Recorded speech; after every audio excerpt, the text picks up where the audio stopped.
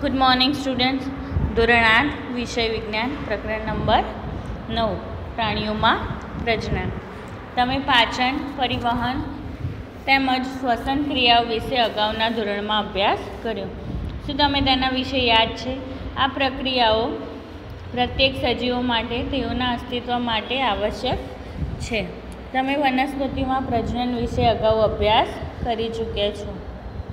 પ્રજનન જાતિઓનું સાતત્ય જાળવી રાખવા માટે આવશ્યક છે. કલ્પના કરો કે સજીવો પ્રજનન ન કરે તો શું થાય? તમે એ વાતને માનશો કે પ્રજનનનું સજીવોમાં એક વિશેષ મહત્ત્વ છે? કારણ કે તે એક જ એવા સજીવના પેઢી દર પેઢી નિરંતરતા બનાવી રાખવાનું સુનિશ્ચિત કરે છે. અગાઉના ધોરણમાં વનસ્પતિઓમાં પ્રજનન વિશે અભ્યાસ કરી ચૂક્યા છો. આ પ્રકરણમાં આપણે જાણીશું કે પ્રાણીઓ કેવા પ્રકારે પ્રજનન કરે છે. તો સૌપ્રથમ છે પ્રજનના પ્રકારો. શું તમે વિવિધ પ્રાણીઓના બચ્ચાને જોયા છે? કેટલાક પ્રાણીના બચ્ચાના નામ કોષ્ટક નવ પોઈન્ટ એકમાં લખવાનો પ્રયત્ન કરો, જેમ કે ક્રમ એક અને પાંચમાં ઉદાહરણ આપીને દર્શાવે છે. તો શું છે? પહેલું મનુષ્યના બચ્ચાને શિશુ કહે છે અને મરઘીના બચ્ચાને પીલું તમે વિવિધ પ્રાણીઓના બચ્ચાઓને જન્મ થતાં પણ જોયા હશે. શું તમે જણાવી શકો કે મરઘીનું બચ્ચું ઈયળ અને ઈયળ કેવા પ્રકારે જન્મ લે છે? બિલાડીનું બચ્ચું અને ગલુડિયું કેવી રીતે જન્મ લે છે? શું તમે વિચાર કરો છો કે જન્મ પહેલાં આ સજીવો એવા જ દેખાતા હતા જ્યારે અત્યારે દેખાય છે. ચાલો જાણકારી મેળવીએ. વનસ્પતિઓની જેમ જ પ્રાણીઓમાં પણ પ્રજનનના બે પ્રકાર હોય છે, જેમ કે લિંગી પ્રજનન અને અલિંગી પ્રજનન. તો આપણે જોઈએ લિંગી પ્રજનન. ધોરણ સાતમાં તમે વનસ્પતિઓના પ્રજનન વિશે અભ્યાસ કર્યો હતો. તેને યાદ કરવાનો પ્રયત્ન કરો તમને યાદ હશે કે લિંગી પ્રજનન કરતી વખતે વનસ્પતિઓમાં નર અને માદા પ્રજનન અંગો આવેલા હોય છે. શું તમે આ ભાગોના નામ વિશે જાણો છો? પ્રાણીઓમાં નર અને માદામાં વિવિધ પ્રજનન અંગો અથવા ભાગો હોય છે. વનસ્પતિની જેમ જ પ્રાણીઓ પણ નર તેમજ માદા જન્યુન બનાવે છે, જેમાંથી જોડાણ યુગ્મજ બને છે. આ યુગમાં જેનો વિકાસ થઈને એક નવો સજીવ બને છે. આવા પ્રકારનું પ્રજનન કે જેમાં નર અને માદા જન્યુનું જોડાણ થતું હોય તેને લિંગી પ્રજનન કહે છે. ચાલો મનુષ્યમાં પ્રજનન ભાગોનો ખ્યાલ મેળવીએ તથા પ્રજનન પ્રક્રિયાનો અભ્યાસ કરીએ. સૌપ્રથમ આપણે જોઈએ નન પ્રજનન. અંગો નર પ્રજનન અંગોમાં એક જોડ શુક્રપિંડ, બે શુક્રવાહિની આવેલું હોય છે શુક્રપિંડ નર જનન કોષો ઉત્પન્ન કરે છે, જેને શુક્રકોષ કહે છે. શુક્રપિંડ લાખોની સંખ્યામાં શુક્રકોષો ઉત્પન્ન કરે છે, જે આકૃતિમાં શુક્રકોષની રચના દર્શાવેલ છે. શુક્રકોષનો અત્યંત સૂક્ષ્મ હોય છે, જે પ્રત્યેક કાર્ય શીર્ષ મધ્યભાગ અને પૂંછડી હોય છે. શું શુક્રકોષ એક કોષ જેવા દેખાય છે. વાસ્તવમાં શુક્રકોષોમાં કોષના સામાન્ય ઘટકો જોવા મળે છે. હવે આપણે જોઈએ કે માદા પ્રજનન અંગ.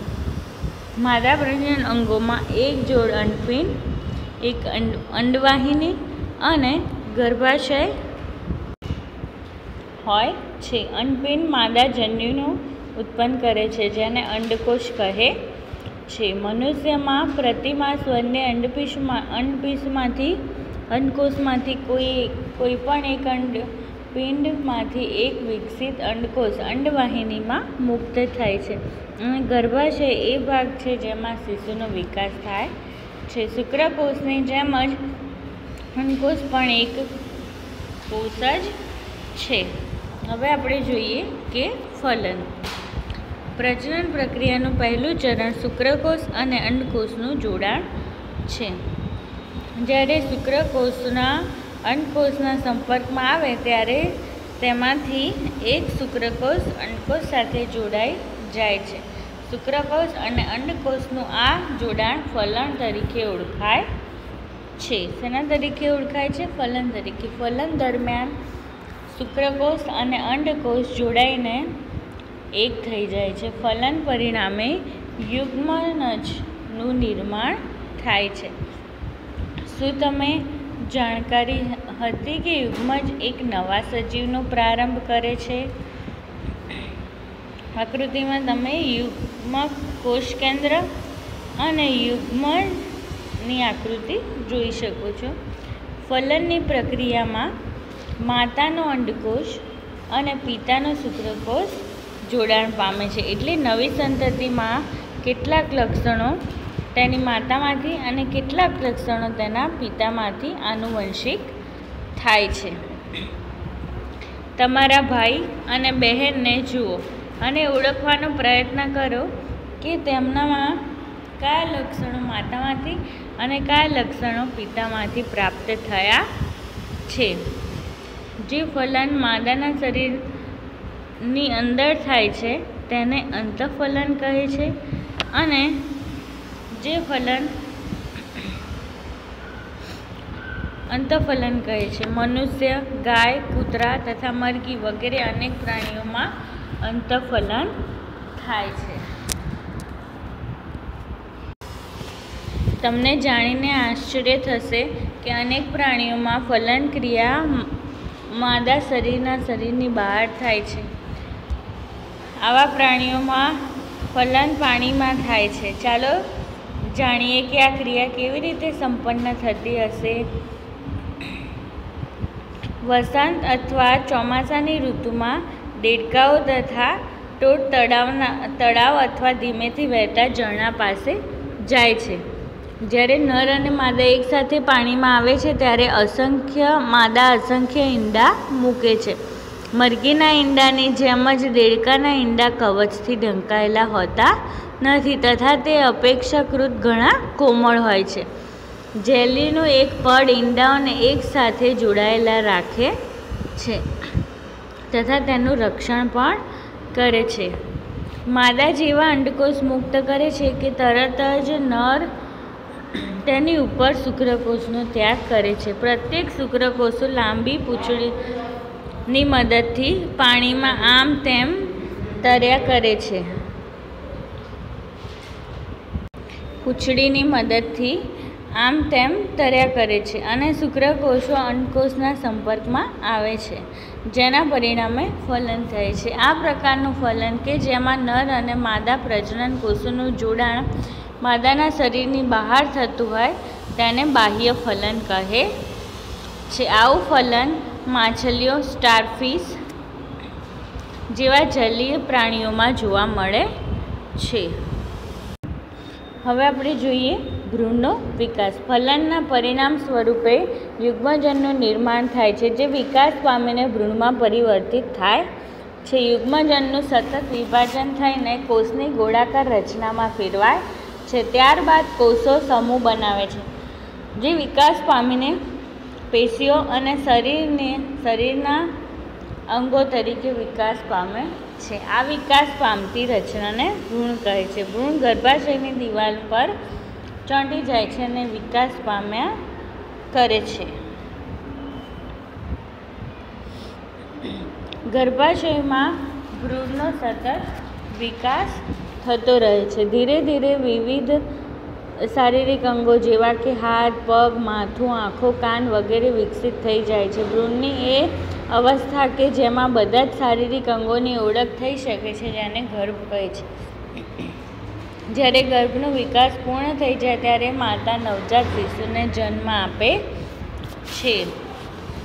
મરઘીમાં પણ અંતઃફલન થાય છે. તો શું મરઘી મનુષ્ય અને ગાયની જેમ બચ્ચાને જન્મ આપે છે? તમે જાણો છો કે મરઘી બચ્ચાને જન્મ આપતી નથી, તો પછી મરઘીનું બચ્ચું કઈ રીતે જન્મ લે છે? ચાલો જાણકારી. ફલન પછી તરત જ યુગ્મન સતત વિભાજન પામ્યા કરે છે અને અંડવાહિનીમાં નીચેની તરફ ખસતો રહે છે. તેનું નીચેની તરફ ખસવાની સાથે સાથે તેની આજુબાજુ સુરક્ષિત પડ બનતું જાય છે. મરઘીના ઈંડા પર જોવા મળતું કઠણ કવચ પણ આવું જ એક સુરક્ષિત પડ છે. વિકસિત ભ્રૂણની ઉપર કઠોર કવચનો પૂર્ણ વિકાસ થયા બાદ મરઘી ઈંડું મૂકે છે. મરઘીના ઈંડામાંથી બચ્ચું બનવા માટે તેને ત્રણ અઠવાડિયા જેટલો સમય લાગે છે. પર્યાપ્ત ગરમી મળે તે માટે ઈંડા ઉપર બેઠેલ મરઘીને તમે જોઈ હશે. શું તમે જાણો છો કે ઈંડાની અંદર બચ્ચાનો વિકાસ આ પ્રક્રિયા દરમિયાન થાય છે?